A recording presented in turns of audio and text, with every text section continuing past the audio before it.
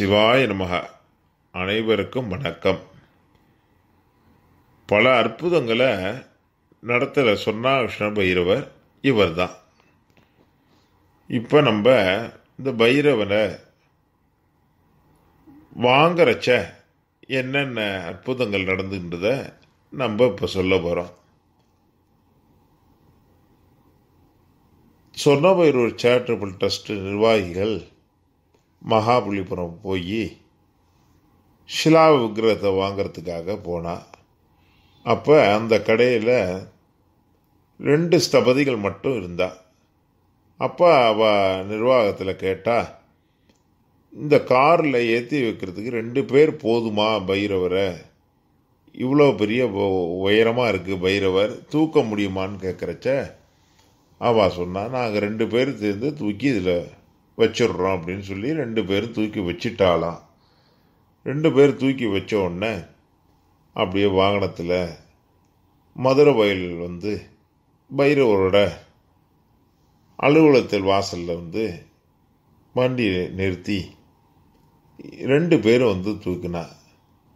அவள் ரெண்டு பேராலையும் தூக்க முடியலையா?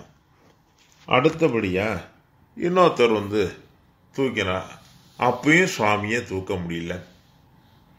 இன்னொருத்தர் நாலு பேர் வந்து தூக்கினான் அப்போ நாலு பேர் தூக்கறச்ச மட்டும்தான் அந்த சுவாமியை தூக்க முடிஞ்சது. அப்போ என்ன ஆயிடுச்சுன்னா அந்த பைரவனோட ஒரு அற்புதம் என்ன அப்படின்னு கேட்டிங்கன்னா பைரவர் வாங்குறச்ச ரெண்டு ஸ்தபதிகள் மட்டும் காரில் ஏற்றி பைரவரை இது பண்ணேன் அதுக்கப்புறம் இங்கே வர்றப்போ வந்து பார்த்தீங்கன்னா நாலு பேர். ரெண்டு போய் நாலு பேரானது. ட்ரஸ்ட் அலுவலகத்தில் வச்சு பைரவரை நித்திய பூஜை பண்ணா டெய்லி பூஜைகள் பண்ணி அனுஷ்டானங்கள் எல்லாம் என்னென்ன பண்ணணுமோ வேத ஆகமப்படி அந்த பூஜையெல்லாம் சிவாச்சாரியர்கள் பண்ணார். அதை முடிச்சுட்டு அதுக்கப்புறம் சுவாமி காசி பிரயாணத்துக்காக சுவாமியை வந்து பெரிய ஒரு பெட்டி செஞ்சு அந்த சுவாமியை சென்ட்ரல் ரயில் நிலையத்துக்கு கொண்டு போகிறதுக்காக ஏற்பாடு பண்ணாங்க. ஏற்பாடு பண்ணிட்டு அப்போ என்ன பண்ணாங்கன்னா அங்கேருந்து சென்ட்ரல் ரயில் ரயில் நிலையத்துக்கு வண்டி எடுத்துன்னு போகிறதுக்காக வண்டி ரெடி பண்ணி ரெண்டு பேர் தூக்கினா நாலு பேர் தூக்கினா நாலு பேரும் தூக்க முடியல. அப்போ என்ன ஆயிடுத்து இன்னும் ஒருத்தர் சேர்ந்து தூக்குற மாதிரி ஆயிடுச்சு அஞ்சு பேராக ஆயிடுத்து மகாபலிபுரத்தில் ரெண்டு மதுரை ஸ்ரீ சொர்ணபைரவ சேரிட்டபிள் ட்ரஸ்ட் அலுவலகத்தில் இறக்குறச்ச நாலு பேர். அங்கே பூஜை பண்ணிட்டு காசிக்கு சென்று போகிறச்ச சென்ட்ரல் ரயில் நிலையத்துக்கு வண்டியில் ஏற்றுறப்ப பார்த்தீங்கன்னா அஞ்சு பேர் தூக்குற மாதிரி ஆயிடுது. இது அஞ்சு பேர் சேர்ந்து தூக்கி வச்சு சென்ட்ரலுக்கு சுவாமி போயிட்டார். அப்போ சென்ட்ரல் ரயில் நிலையத்தில் இதே போல் ஒரு நாலு பேர் அங்கே நல்ல பல பலவந்தமாக உள்ள ஆசாமிகள் நாலு பேர் சுவாமியை தூக்கிறதுக்காக தூக்கினான் அப்போ அந்த பொட்டியோடு தூக்குறச்ச நாலு பேர் தூக்கி பைரவரை தூக்கவே முடியல.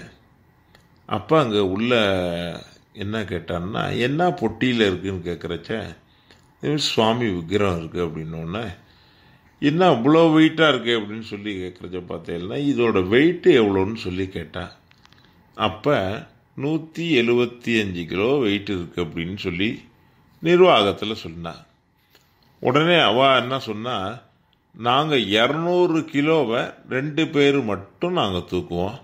ஆனால் கிட்டத்தட்ட இந்த சுவாமியோட விக்கிரகங்களோட வெயிட்டே நூற்றி எழுபத்தஞ்சின்னு சொல்கிறீங்க அந்த பொட்டியும் ஒரு இருபது கிலோ வச்சாலும் இரநூறு கிலோ தான். நாங்கள் நாலு பேர் தூக்கியும் எங்களால் தூக்க முடியலையே அப்படின்னு சொல்லிட்டு இன்னொரு ரெண்டு பேர் சேர்ந்து தூக்கி வச்சா. அப்போ என்ன ஆயிடுது? ஆறு பேர் ஆயிடுது. அதாவது மகாபலிபுரத்தில் ரெண்டு பேர் சொர்ணபைரவர் ட்ரஸ்ட்டு அலுவலகத்தில் நாலு பேர். இங்கே சென்ட்ரல் ரயில் நிலையத்தில் இறக்கி வைக்கிறச்ச ஆறு பேர் ஆயிடுத்து. அப்போ எல்லாம் இறக்கி எல்லாம் ஏற்றி சுவாமியை ரயிலில் ஏற்றியாச்சு அப்போ சுவாமி போய் ரெண்டு நாளில் காசியில் போய் சுவாமியை இறக்கிறதுக்காக அங்கே அங்கே உள்ளவாள்லாம் எல்லாம் ஹிந்தி பேசுகிறவா அங்கே இறக்கிறதுக்காக இது பண்ணா. அங்கே இறக்குறச்ச ரெண்டு பேர் நாலு பேர் ஆறு பேர் வரலும் தூக்கினா சுவாமியை தூக்கவே முடியல. அப்புறம் அந்த நிர்வாகத்தில் உள்ளவாள்லாம் என்ன நினச்சா இங்கே சுவாமின்னு தெரியாமல் ஏதாவது வெயிட்டு ஏதோ ஒரு பார்சல் நினச்சிட்டு தூக்கி வீசிடுவாளோன்னு சொல்லிட்டு அவள்லாம் சேர்ந்து பின்னாடி போயிருக்கா. சேர்ந்து பின்னாடி போனோடனே அப்போ அங்கே ரயில்வே துறையில் உள்ள அதிகாரிகள் இந்த பொட்டியில் என்ன இருக்குது இவ்வளோ வெயிட்டாக இருக்கே? அப்படின்னு சொல்லி கேட்குறச்ச அப்போ அந்த நிர்வாகிகள்லாம் என்ன சொல்கிறா இதில் சுவாமி பைரவர் விக்கிரகம் இருக்குது அப்படின்னு சொன்னோடனே எல்லாரும் சேர்ந்து அந்த பொட்டியை தொட்டு கும்பிட்றா. தொட்டு கும்பிட்டுட்டு அப்புறம் அந்த பெட்டியை வந்து இறக்குறச்ச எத்தனை பேர் இறக்குறான்னா எட்டு பேர் இறக்குறா. அதுதான் பெரிய அற்புதம்.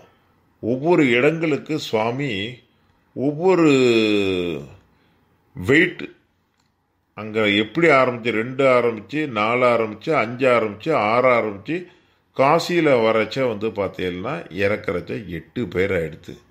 எட்டு பேர் எல்லாம் இறக்கி சுவாமியை வந்து காசியில் உள்ள மடத்துக்கு கொண்டு போகிறச்ச சுவாமியை வந்து வண்டியில் ஏற்றி அந்த எட்டு பேர் வண்டியில் ஏற்றி விட்டா. வண்டியில் ஏற்றி விட்டுட்டு கங்கை கரை ஓரத்தில் அதாவது வந்து கேதார்காடில் உள்ள முத்துக்குமார சுவாமி மடத்துக்கு போகிறதுக்காக அங்கே வண்டி பேசி எல்லாம் வா நிர்வாகிகள்லாம் அங்கே இது பண்ணார் அங்கே போய் அந்த மடத்து வாசலில் சுவாமியை இறக்கினா. தூக்க முடியாமல் அதே பேர் எட்டு பேர் வச்சு இறக்கி வச்சுட்டா. இறக்கி வச்சுட்டதுலேருந்து அதுக்கப்புறம் சில அற்புதங்கள் நடந்தது. அந்த அற்புதங்களை நம்ம நாளைக்கு தொடருவோம். சிவாய நமக.